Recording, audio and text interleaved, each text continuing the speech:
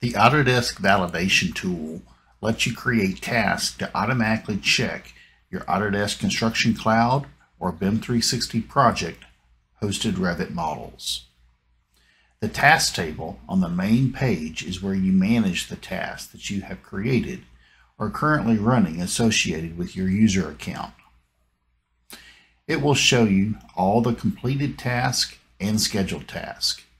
It is filterable based on any column within the table. There is a quick search that if you start typing, it will start filtering down based on name, and there is also a reload task button that can immediately update the status of tasks that are available in the table itself. The first column shows the status color and the word behind it will indicate exactly what is happening. This one is completed. This task is paused. And at the bottom, I have some that are scheduled to run in the future.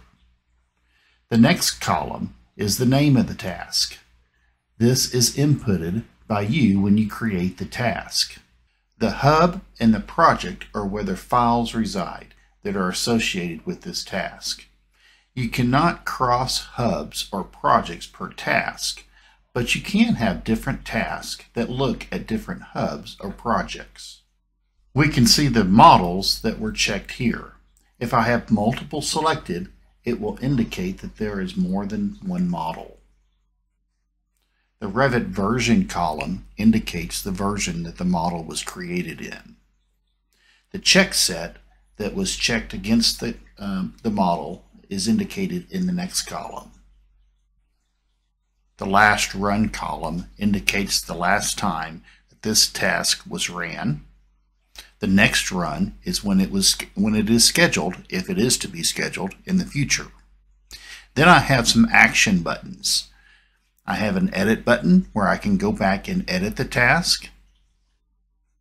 I have a pause button where I can pause future scheduling of the task. And I have a duplicate button. Duplicate allows me to duplicate this task to quickly create a similar task. If I click on the dot dot dot button, this will allow me to remove the task altogether or to run the task now. To create a new task, you simply come up and pick on New Task. The first thing you need to enter in is a name for this task.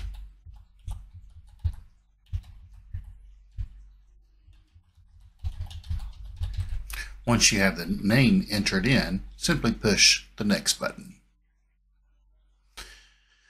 This is where I pick which model I'm trying to run this validation against.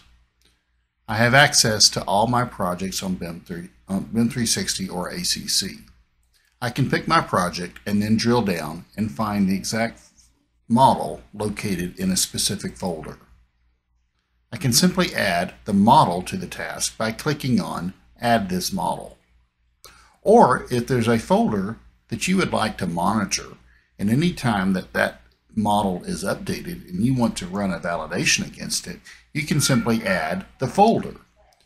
I can either add just the main folder or I can add this folder and any subfolders that are inside of that.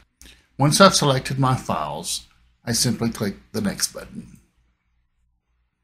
This is listing out all the available validation queries that come with the program, along with any custom ones that you may have created.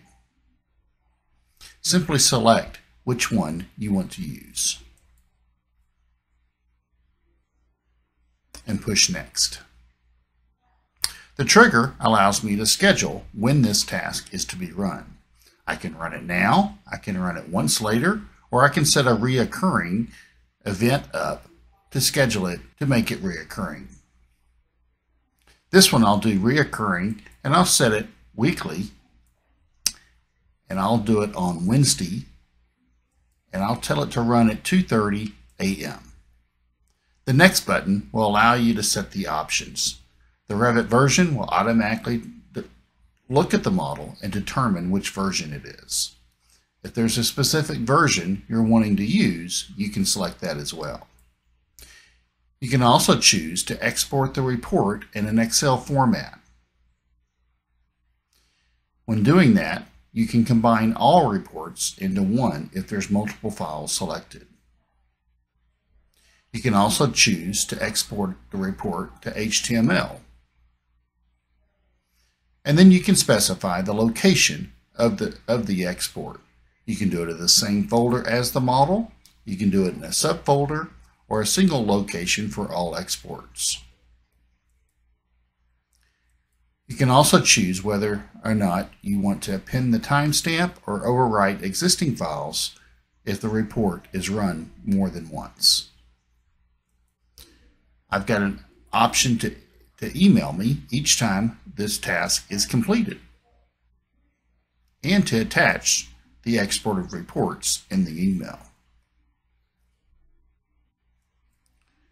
The summary gives me a summary of my task. If I'm satisfied with everything that I've set up, I can simply hit Save and Run to save the task.